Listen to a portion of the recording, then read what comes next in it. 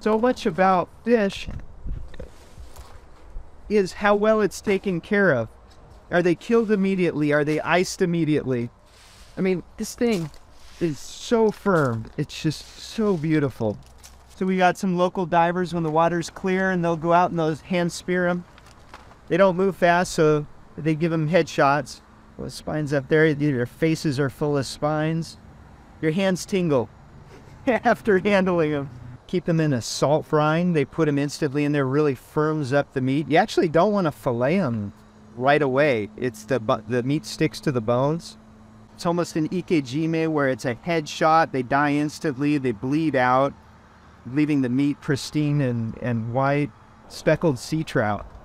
And dude, they're such a cool fish. They always have like this snaggletooth fang, Dracula fang there. These are all and reel caught